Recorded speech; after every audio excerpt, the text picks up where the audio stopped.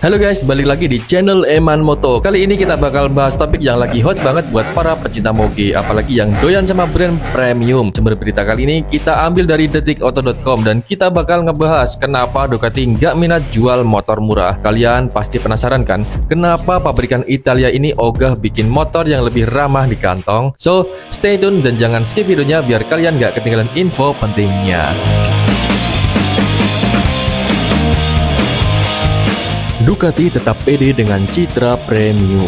Ducati ini emang udah terkenal banget sebagai produsen motor-motor premium dengan harga yang bikin kita melongo. Kepala eksekutif Ducati Claudio Domenicali bilang kalau mereka nggak pernah ada rencana buat jual motor kecil dan murah. Kenapa? Karena mereka mau tetap mempertahankan cita brand yang udah melekat sejak lama. Ducati itu kan identik sama prestis, makanya mereka nggak mau bikin produk yang murahan. Pernyataan tegas dari bos Ducati.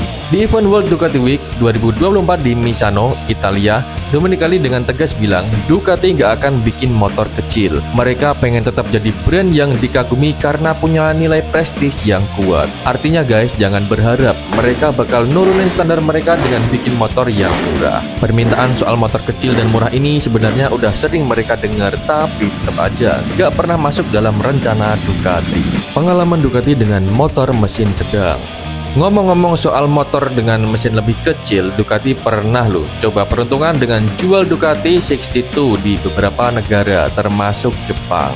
Tapi walaupun mesinnya lebih kecil, harganya tetap aja gak bisa dibilang murah guys. Wakil Presiden Penjualan dan Pemasaran Ducati Asia Pasifik Marco Biondi bilang kalau mereka tetap mempertahankan standar performa Ducati. Jadi walaupun mesinnya kecil, kualitas dan engineeringnya tetap kelas atas, yang artinya ya mahal. Nggak ada tuh kompromi soal harga yang murah-murah. Perbandingan dengan merek lain.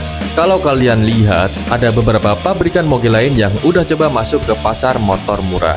Contohnya nih, ada Triumph yang bergandengan dengan Bajaj. Terus ada juga Harley Davidson yang kolaborasi sama Hero Motocorp buat ngeluncurin moge yang lebih terjangkau. Tapi Ducati punya prinsip yang beda. Mereka nggak mau kerjasama dengan pabrikan motor murah karena ya nggak sesuai dengan standar kualitas mereka.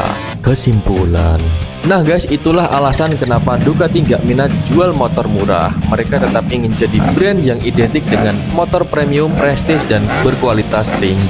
Gimana nih menurut kalian? Apakah strategi Ducati ini bikin mereka makin keren atau justru bikin makin sulit dijangkau nih guys? Tulis pendapat kalian di kolom komentar ya.